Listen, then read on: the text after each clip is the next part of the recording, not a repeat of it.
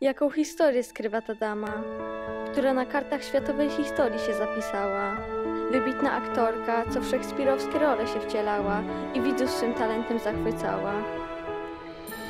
Nie tylko w Polsce, ale w USA, gdzie później się osiedliła i tam już jako modrzeska znana była.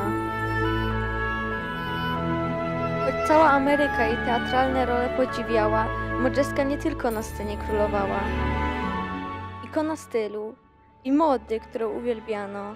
Perfumy, mydła, kosmetyki, porcelany, zapałki, a nawet czekoladki wizerunkiem ozdabiano i ala modrzeska nazywano.